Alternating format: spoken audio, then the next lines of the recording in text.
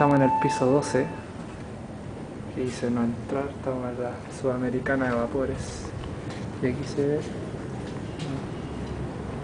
la división entre las torres.